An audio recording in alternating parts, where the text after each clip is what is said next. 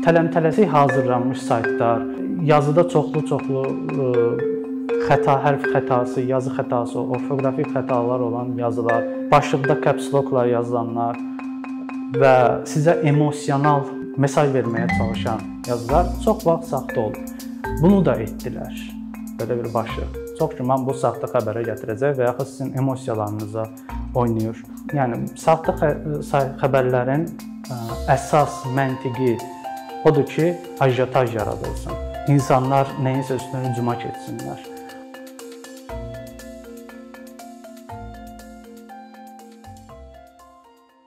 Bildiyiniz kimi hal-hazırda informasiya hücumuna məruz qalırıq hər yerdə. İstəmədiyimiz, istədiyimiz nə qədər məlumatlar əldə etməyə məcburuq və buna görə də biz e, məcburuq ki, öz filtrimizi yaradaq, belə deyək. Biz buna görə də əsasən jurnalistikadan danışacağıq, amma jurnalistikanın jurnalistin tərəfindən yox, oxucunun tərəfindən. Yəni burada jurnalistika etikasından filan belə şeylərdən bəhs etməyəcəyik. Bizim işimiz o deyil. Biz əsasən oxucu olaraq hansı mənbələri e, mötəbər saymalı olduğumuzu və yaxud hansıları fake, yəni saxta saymalı olduqlarımızı bəhs edəcəyik. E, birinci elə fake demişəm, fake news, yəni ki, saxta xəbərlərdən danışaq. Saxta xəbərlər əsasən 4 kateqoriyaya bölünür. Bunlardan birincisi e, Donald Trumpın məşhurlaşdırdığı saxt fake news e, te, e, terminidir ki, insanlar sadəcə olaraq bəyənmədikləri, yəni öz propaganda öz xəttlərində, öz belə deyim, ideologiyalarına aid olmayan hər hansı bir xəbər görəndə və yaxud məlumat görəndə onu fake news sayırlar. Yəni ki, birbaşa rədd eləmək, nə bunun inkarı üçün isbat gətirirlər və heç nə. Bu birinci kateqoriyadır. İkinci kateqoriya saxtalaşdırılmış məqalə. Yəni ki, bu e, bilərəkdən hansısa bir müəllif tərəfindən sırf bu məqsədlə saxtalaşdırmaq məqsədi ilə yazılmış e, məqalələrdir. Yəni ki, bu adamların e, bəzən çox heç jurnalist olmurlar, adi troll da ola bilərlər və yaxud nə bilim rəssamlıq akademiyasından məzun bir yazar da ola bilərlər. Heç bir bunların yəni jurnalistika etikasına falan sahib olmalarına ehtiyac yoxdur. Üçüncü kateqoriya xəbərlər adlanır e, yalan xəbərlər. Yalan xəbərlər necə olur? Bu bunlar əslində jurnalistin bilərək elədiyi şeylər deyil, bilməyərək e, elədiyi xəbərlərdir. Tutalım ki, bu gün bir yazı, bu gün bir məqalə gördüm. Albert Agarunovun heykəli düzəldilir və bu heykəlin bu haqqda olan xəbərlərin çoxunda Ömər Əldarov yazılmışdı, e, heykəltaraş. Mən də bu amma bəzi məqalələrdə bu ümumiyyətlə məlumat yox idi. E, bu haqqda mən də ona görə sosial mediada bir araşdırma elədim. Gördüm ki, e, əslində hə, həmin müəllif əslində bu Aybek Ağalınovun heykəlinin müəllifi Ömər Eldarov deyir. Onun iki şagirdidir. Yəni bəzi xəbər saytları bu məlumata yer veriblər, bəzi xəbər saytları birbaşa Ömər Ömərin Ömər müəllimin adını çəkiblər. Bu artıq olur yanlış xəbər. Yəni ki, burada jurnalistin bilərək elədiyi şey deyil, sadəcə olaraq birinci xəbəri mən yayım məntiqi ilə sürətlə verdiyi bir xəbərdir. Dördüncü kateqoriya, bəlkə özünüz də çox görmüsüz, Onion kimi, Onion.com kimi gülməli hansı ki sarkastik sarkastik xəbərlərdir. Məsəl üçün filan filan müğənni artıq təyyarələrini satacağını elan elədi. Burada əslində sarkazm istifadə olunur və nə deyirlər bu müğənniyə qarşı ki, onun çox varlı, dövlətli insandır. Tam damla evini nə bilim pərəstişkarlarına açdı. Bu əslində xəbər deyil sarkastik bir xəbər ola bilər. Bunlar amma yenə də fake xəbər, fake news kateqoriyasının içində gedir. Bunların ən belə e, ən azını belə deyə, ən zərərsizi olsa da, elə insanlar var ki, sarkazmı və yaxud e, tənqidi ciddiyə ala bilirlər. E, bu əsas 4 kateqoriyadan keçəndən sonra mən istəyirəm ki, ə, bu cəhətə keçək. İstifadə etdiyimiz, yəni günlük daxil olduğumuz olsun, sosial mediadan linkinə tıklayıb gördüyümüz olsun saytların içində onları kateqoriyalaşdırmaq üçün belə bir necə deyim, keyfiyyət tərəfkeşliyi qrafiki var. Burada əsas keyfiyyət, yəni jurnalistikanın keyfiyyəti ən sadəsindən tutmuş, ən mürəkkəbinəcən gedir və tərəfkeşlik tərəfi burada M, yəni ki, mainstream, yəni ki, əsas hal-hazırda əsas oxuduğumuz xəbər saytları CNN-dir, BBC-dir, belə xəbər saytları yer alır. Konservativ, yəni ki, ə, mühafizəkar insanların girməyə ə, üstünlük verdiyi saytlardır. Bir də liberal, liberal insanların girməyə üstünlük verdiyi saytlardır. Ə, jurnalistikada, yəni Ola bilsin bəlkə də Azərbaycan kontekstində düzgün deyil, çünki bizdə ideologiyalara uyğun sayt çox az var.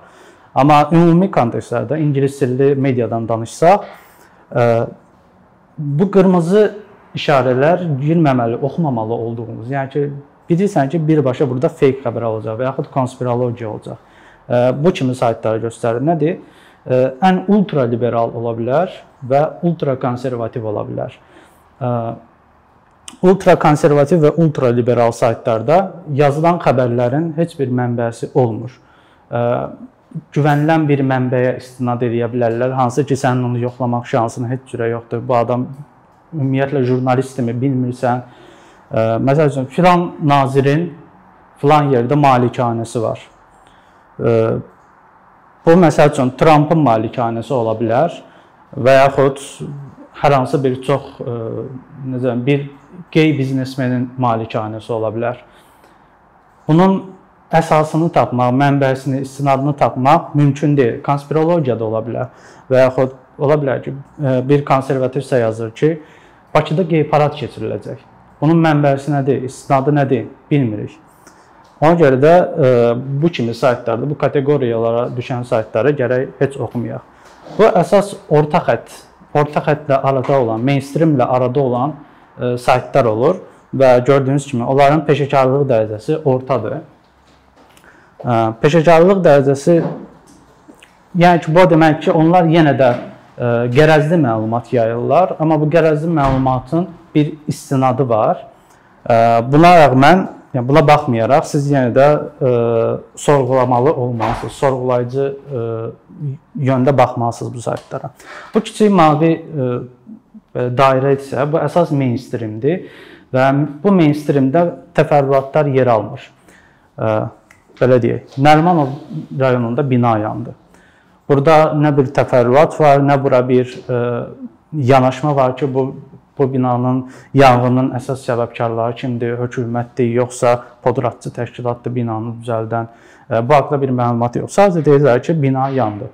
Bu ona görə də ə, e, ən sadə, yəni jurnalistika keyfiyyətində ən sadə belə minimal ə, e, fundamental keyfiyyətdə sadəcə başlıqla xəbər verən saytlardan bu əsas bu şeydə olur. Ə, e, burada ola bilsin ki, ə, qərəz yoxdur. Fake news sayılmır, amma çox məlumat da vermir.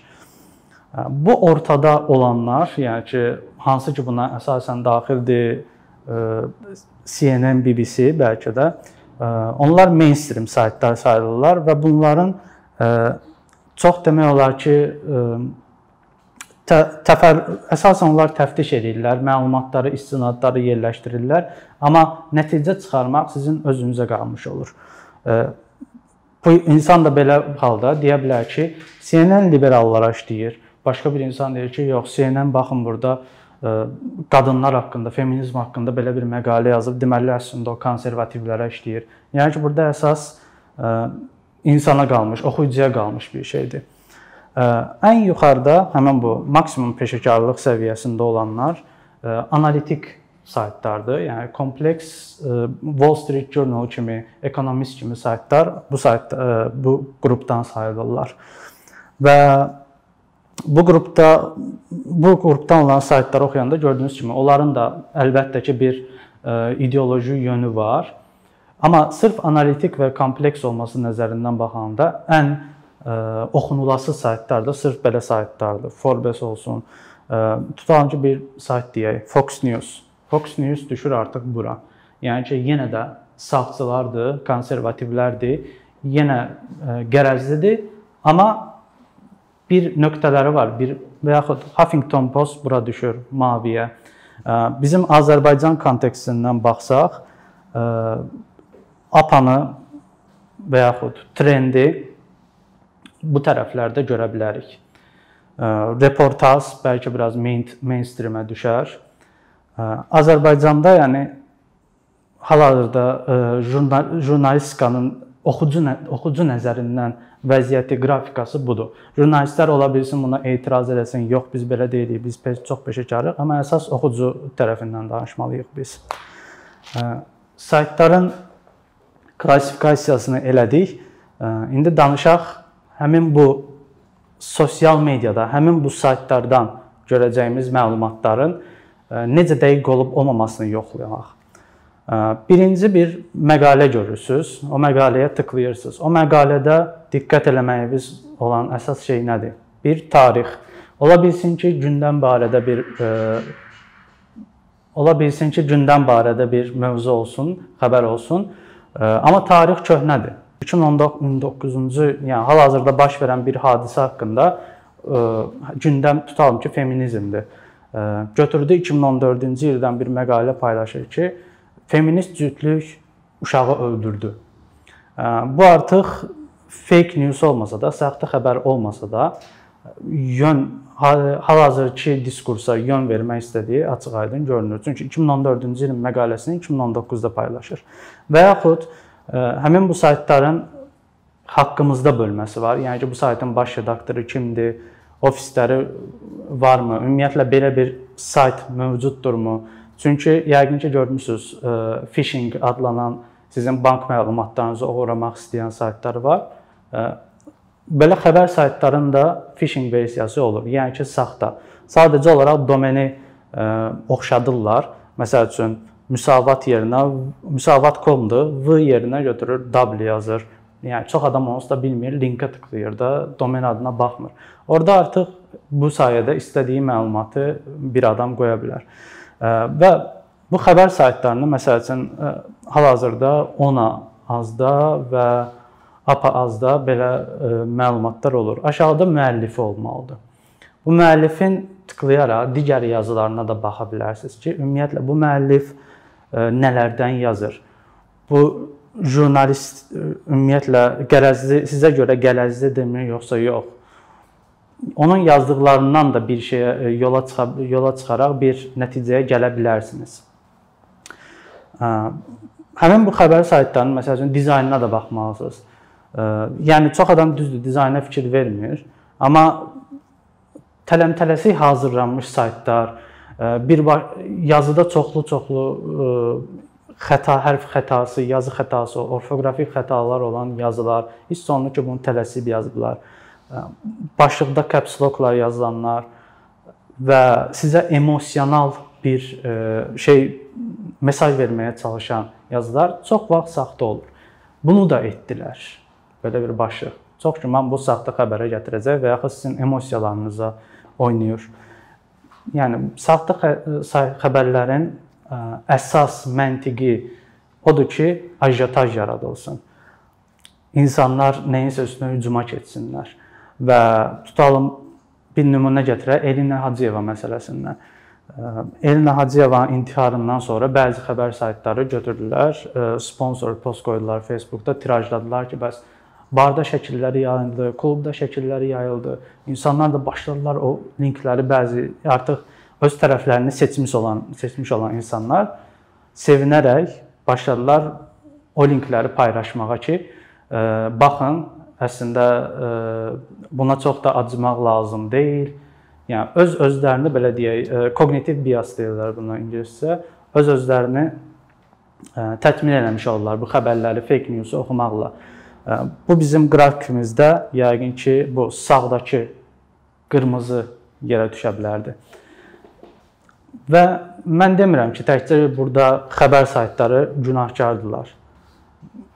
Çünki siz öz qərəzinizə də baxmalısınız. Mən məsəl üçün bir xəbər saytını oxuyanda oradan artıq əsəbləşirəmsə, ikinci dəfə artıq oxumağa çalışıram onu və deyirəm ki, mənim özümün də ideoloji görüşüm var da. Bu bu yazı mənim ideoloji görüşümdən tam olaraq üst-üstə düşmür. Xəbərləri oxuyarkən öz qərəz öz qərəzinizi də hesaba salmalıyıq və bizim öz ideoloji görüşümüz nədir? Bizim bu barədə ə, hisslərimiz nədir? Biz bu barədə nə rəy verərdik? Biz özümüz necə xəbər yazardıq? Bunu da diqqət almalıyıq və yəni təkcə burada hədəf olaraq jurnalistikanı yox, həm də özümüzü götürməliyik. Hər şeyi qərəz həll eləyir. Biz məsəl üçün baxmalıyıq öz girin brauzerdə tarixçə var, history. Ən çox hansı saytlara girirsiniz? Ən çox hansı xəbər saytlarını oxuyursunuz? Əsas məlumatınız, mənbəyi sizin hardandır? Hmm, or oradan yola çıxaraq artıq öz tərəfinizi də ə, e, təyin edə bilərsiniz. Görə bilərsiniz ki, ə, e, aha, mən ancaq Meydan TV oxuyuram və yaxud mən ancaq ə, e, reportun yazılarına güvənirəm. Qafqaz Info, BBC bir insan artıq e, bir xəbər saytına alışdıqca onun üçün artıq belə deyək də e, fake news anlayışı itir.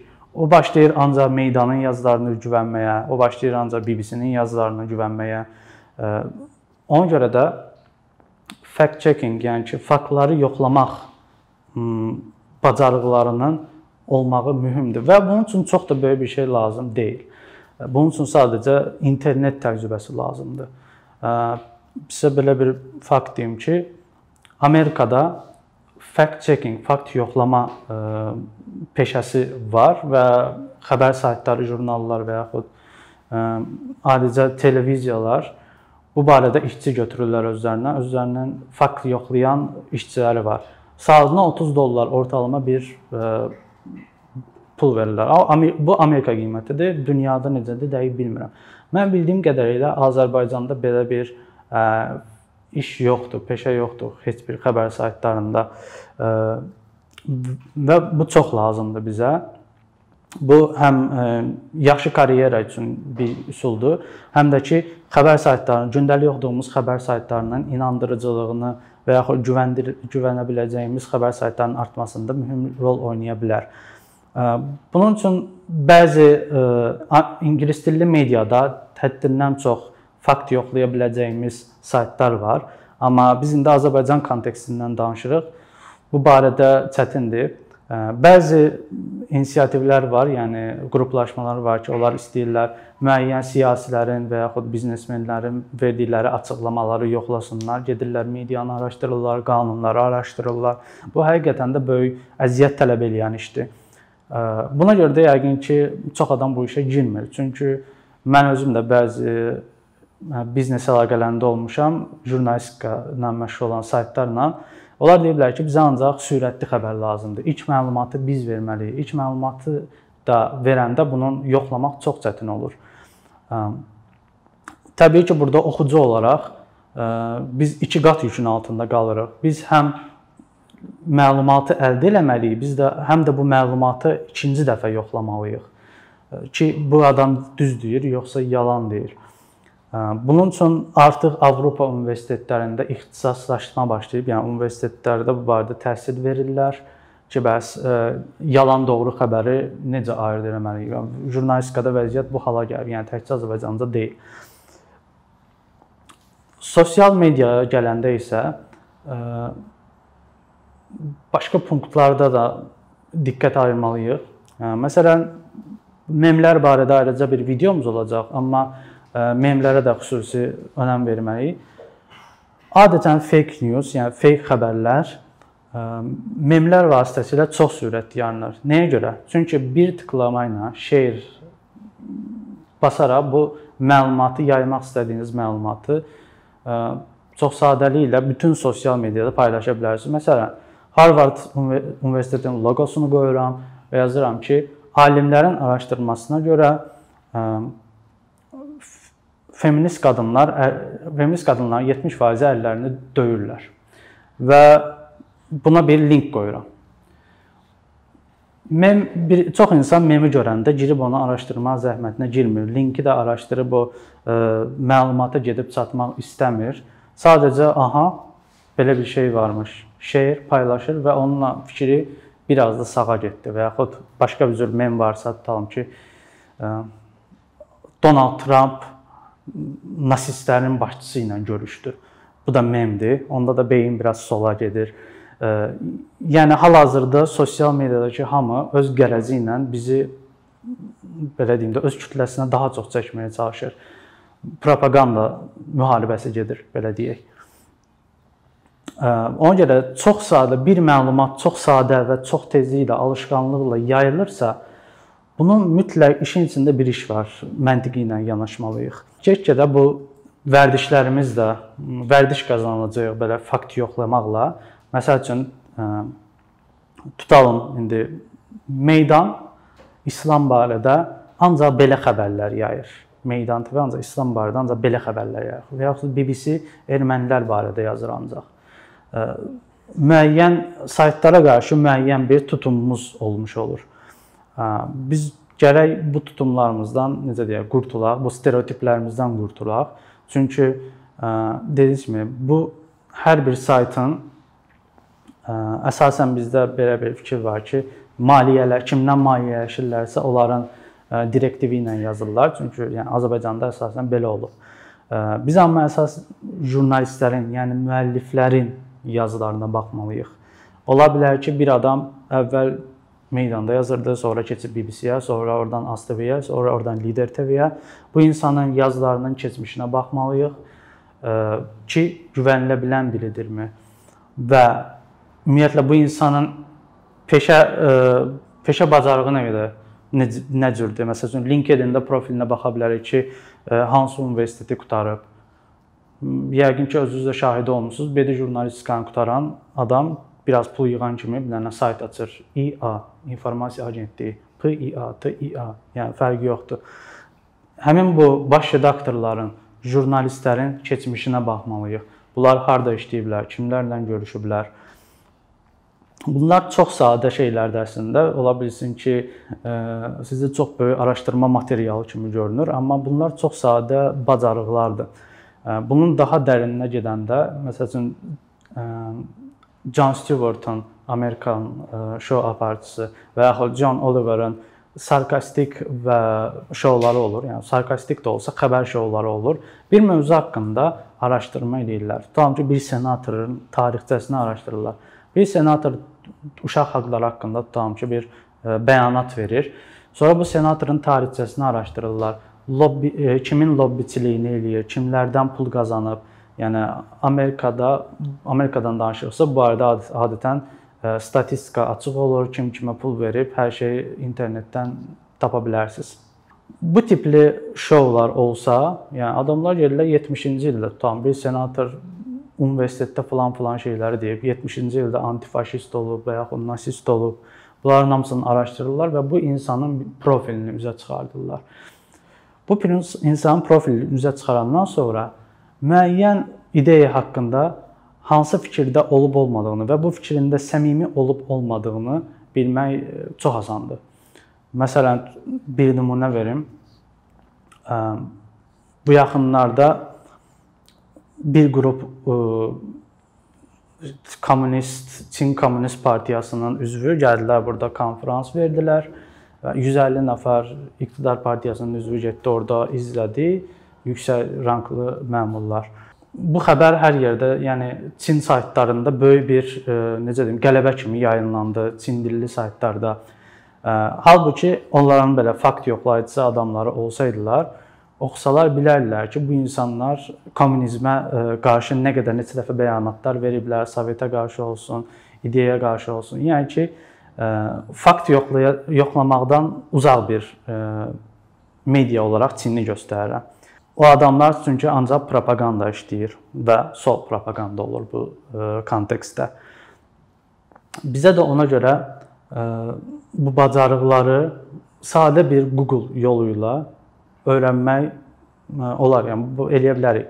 Saytın dizaynı, saytda yazılan müəlliflər, saytın ümumiyyətlə nə qədər mötəbər olub olmadığı, saytda verilən başlıqları, hansı ki bu başlıqları görmək üçün nə qədər saxta və yaxud pafoslu olub olmadığını görmək üçün çox sadə bir məntiq lazımdır.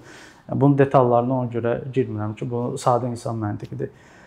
Ümumi saytın şəkli gözümüzün qabağına gələndə, sonra kimsə görəndə ki, Facebookdan bir xəbər paylaşılıb, Photoshoplu, montajlı 2 nəfərin şəklidir, filan kəslər arasında qalmaqal biz artıq bilirik ki, o xəbərə, o linkə tıklamamaq lazımdır. Vaxtımızı xərcləmirik. Belə daha intellektual söhbətlərə qoşuluruq. Belə yəni fakt yoxlamaq əsas bazis bacarıqlar bunlardır.